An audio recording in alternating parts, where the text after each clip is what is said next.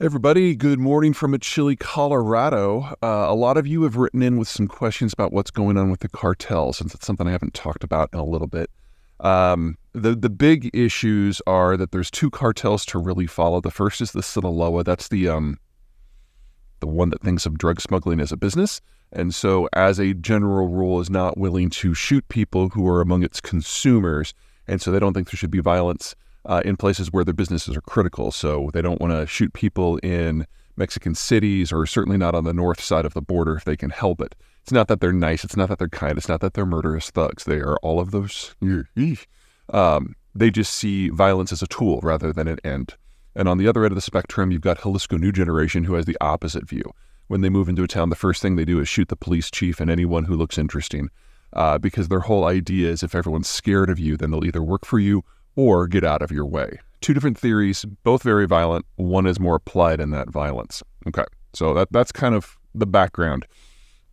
Uh, I've been going on and on and on and on and on, and on about how Mexico is going to be an integral part of the American manufacturing and trading system uh, moving forward for decades, if not over a century. Uh, that hasn't changed. The question is to what degree do the cartels complicate that picture? Uh, not as much as you might think. Uh, the cartels are into things that fit one of two categories. One are small, have high value, and are easy to fit into a backpack and smuggle. Uh, obviously, narcotics fall into that category. Methamphetamines falls into that category. Or they want industries that they can push a lot of cash through in order to launder it.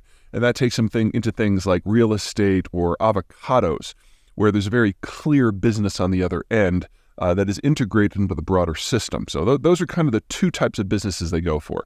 Anything else uh, gets a little complicated for them because it's not their skill set. And uh, when it comes to interfering with trade, it doesn't really work. So if they were to go into, say, a manufacturing facility in Nogales and try to take over, it's not like they would know how to operate it.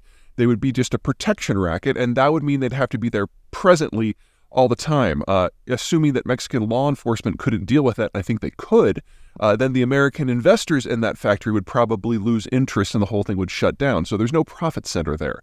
Uh, they could raid things that are going in and out of the facility, but manufacturing in Mexico, as a rule, deals with intermediate manufacturers. So you're not dealing with a lot of finished cars or even finished carburetors. You're dealing with things like spark plugs and casings and seat linings. Uh, and you know, if you get a semi full of seat lines and bolts, you know, that's not exactly something that's easy to dispose of. You then have to find the next step in the manufacturing chain that wants it.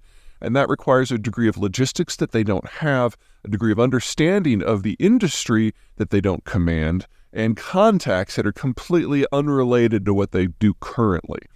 Uh, the biggest risk that I see to the trading relationship is the fight between these two big cartels. Sinaloa is the number one organized crime group in the United States. Jalisco New Generation is rapidly growing to be the number one within Mexico. And at the moment, Sinaloa and some other smaller cartels control all of the plazas going into the United States for the smuggling of the drugs. Jalisco is challenging those other cartels, especially the Sinaloa, for control in each and every one of them.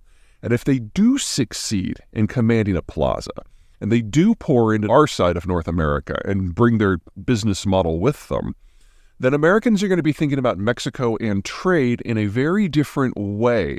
Now, that hasn't happened yet. They've been trying to get into this country for three years now, and organizationally, they're just not nearly as competent as the Sinaloa, even after their leader, El Chapo, was arrested, extradited, and sentenced to prison forever. Uh, it's just a very different mindset. But if you're going to worry about something in the trade relationship, I think that's the number one concern. Uh, so far, it's proven manageable. So far, the, the culture clash, if you will, is working for us. Uh, but that would still be the danger spot.